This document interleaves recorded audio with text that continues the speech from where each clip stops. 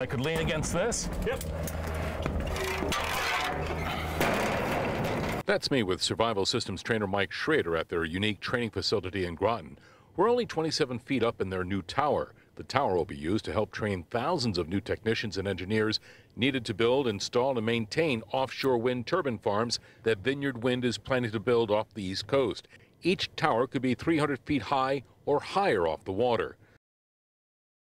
So that means plenty of aerial safety training and equipment that I've got to put on before climbing anything. You have to be physically fit, so you will be required to obviously do your climbing. You're supporting yourself by your arms, your legs. You have equipment to help you out, but also comes to the fact of when it comes to rescue. Typically, turbine tower techs work in pairs, and if you're in trouble, your partner will have to get you to safety. We're traditionally known as the Dunker people. We do water survival. We experienced that safety training course last September in their training tank in Groton. Survival System President Maria Hanna says this turbine tower training facility is one of only two in the Northeast. This is a decades-long project, two or three decades.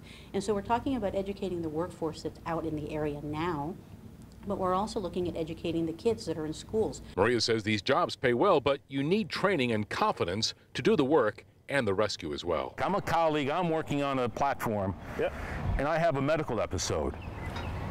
It's just you and me, so you're responsible for getting me down. Each piece of safety equipment is critical to getting the job done right and safely.